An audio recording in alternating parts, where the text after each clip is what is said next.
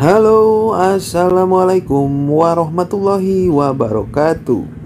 Gimana kabarnya, guys? Mudah-mudahan sehat selalu. Pasti sehat kan? Pasti dong. Baik, pada kesempatan kali ini tentunya kalian sudah melihat video di depan tadi. Hari ini saya akan membahas bagaimana caranya untuk membuat video in text di KineMaster. Untuk tahu videonya bagaimana, yuk sama-sama kita simak video tutorialnya. Nah, oke okay guys, sekarang kita mulai seperti biasa kita masuk dulu ke aplikasi Kain Master. Kita cari aplikasi Kain Master kita, silahkan dibuka sama-sama. Dan kemudian kita tinggal pilih seperti biasa kita tinggal pilih untuk buat baru dan memilih aspek rasio 16 banding 9 nah untuk untuk selanjutnya kita harus menambahkan gambar dari background ya guys ya. Caranya tinggal klik tab gambar di sini. Kemudian kita pilih gambar yang hitam ya guys ya kalau sudah kita klik close dulu, kemudian ini gambar backgroundnya ini jangan lupa kita atur 10 detik panjangnya ya guys ya. 10 detik. Oke. Cukup 10 detik saja, tidak usah panjang-panjang. Ya, jika sudah 10 detik, kita langsung uh, menambahkan teks. Tentunya teks yang kita tambahkan ini bebas ya guys ya kalian juga harus menyiapkan uh, video dengan jumlah teks yang kalian uh, cantumkan.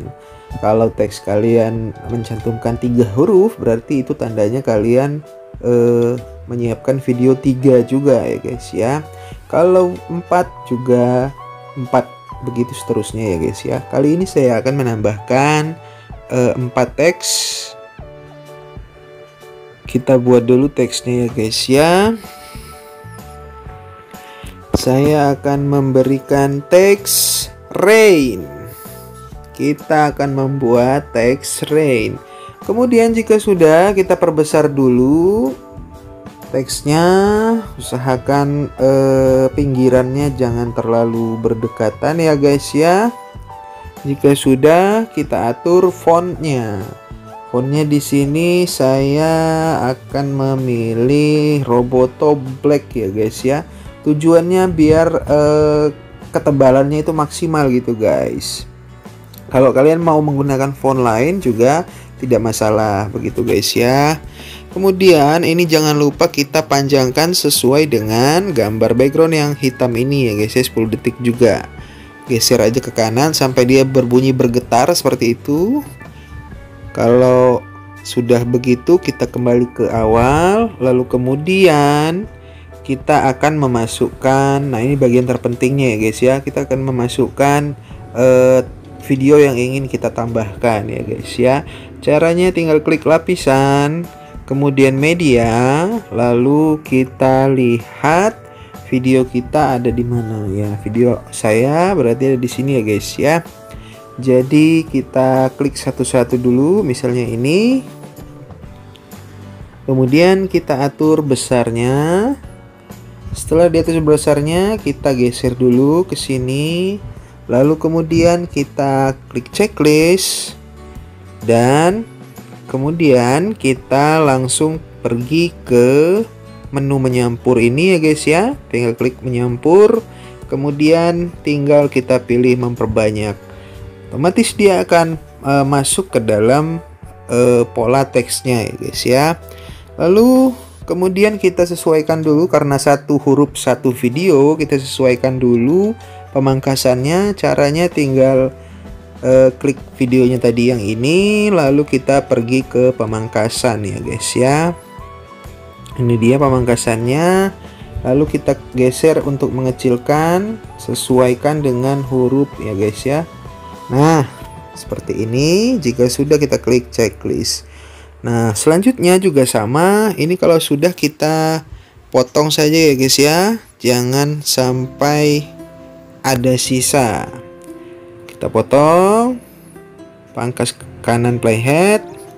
Kemudian yang video kedua sama seperti tadi caranya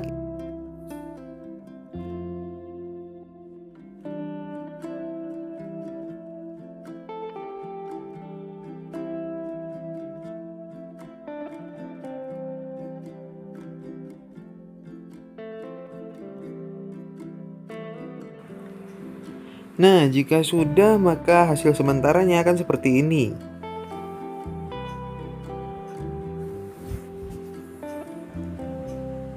Ya, jadi begitu guys.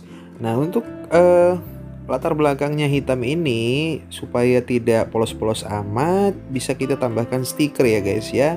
Caranya masih sama, kita klik lapisan, kemudian kita pilih stiker yang ada di sini. Kemudian kalau kalian belum mempersiapkan stikernya, kalian bisa cari di sini bebas, terserah mau stiker yang bagaimana. Di sini sudah banyak sekali stiker-stiker. Ya, kalian bisa download di sini. Kalau di sini saya sudah ada eh, hari hujan ini saya persiapkan di sini ya guys ya. Kemudian tinggal kita klik checklist, lalu sesuaikan dengan panjang durasi videonya ya guys ya. Geser terus sampai dia getar, ya sudah getar. Kemudian kita balik ke menu awal, eh, ke awalnya. Lalu kemudian kita bisa tambahkan background juga. Bebas kalian mau menambahkan background yang bagaimana.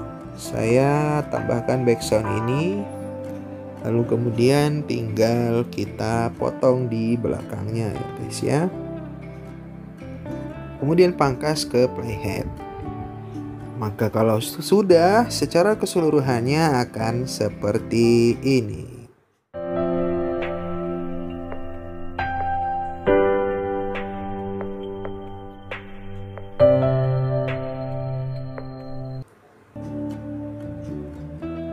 Ya, jadi begitu guys. Kalau sudah ini semua kita simpan dulu. Jangan lupa cara menyimpannya sama seperti kain master kalian yang lain juga. Kalau yang di pro ini di pojok kanan atas. Kalau yang di yang biasa kain master biasa itu biasanya di uh, sebelah kiri ya guys ya. Jangan lupa untuk menyimpan. Kemudian kita pilih uh, resolusinya bebas. Kalian mau yang bagaimana? Saya sudah ini tinggal disimpan ya guys ya. Nah, sampai di sini sangat mudah sekali guys untuk membuat video in text-nya. Cocok kalian gunakan mau buat intro boleh, mau buat uh, video akhir juga boleh atau outro ya guys ya. Saya rasa cukup sampai di sini guys. Semoga infonya bermanfaat. Jangan lupa di-share kepada teman-teman kalian Jangan lupa support selalu Mr. O channel dengan subscribe, like, dan komen ya guys ya. Tanyakan sesuatu bila ada yang mau ditanyakan di kolom komentar. Saya akan selalu siap membahas dan juga membalas ya guys ya. Saya rasa cukup sampai di sini guys. Sampai ketemu lagi di video selanjutnya. See you on the next video. Bye bye.